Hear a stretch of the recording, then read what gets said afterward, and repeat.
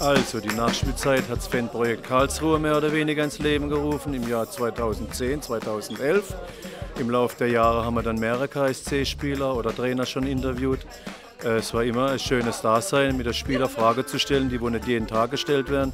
Also sprich auch mal private Sachen vom Spieler rauszubekommen, auch mal so Internas, was in der Kabine abgeht, beziehungsweise auch auf dem Platz. Was wird mit dem Schiedsrichter, was wird mit dem Gegner besprochen, wie ist die Stimmung der Fans, wie motiviert sind die Jungs, wenn sie in so ein Spiel gehen nach 90 Minuten oder für 90 Minuten. Äh, also alles Sachen, wo so der Normalsterbliche gar nicht mitbekommt. War ein geiler Abend. Ähm, nochmal danke für die Einladung an alle.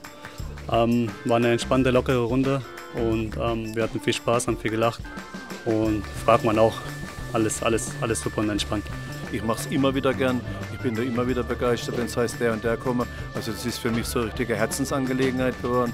Der eine, der ist lauter, der eine, der ist leiser, der eine, der ist äh, introvertiert. Äh, also mehr oder weniger, man lockt sie, aber das, was man hören will unterm Strich, das bekommt man auch raus. Ist eine gute Unterhaltung. Ich glaube, ich und Manu, wir sind, wir sind offen genug, um, um jede Frage ähm, für, für, für Antwort zu stehen. Und ähm, haben wir heute gut gemacht auch und es hat Spaß gemacht und war alles entspannt und deswegen haben wir auch alles beantwortet. Da hat es richtig Spaß gemacht, die hast so richtig so mehr oder weniger bewegen können. Da kam was raus, die waren ehrlich, da kam was hinterher. So wie man sich einen Gesprächspartner oder die Gesprächspartner vorstellt, so war das auch heute gegeben. Und ich hoffe, es hat dir drin jedem Spaß gemacht.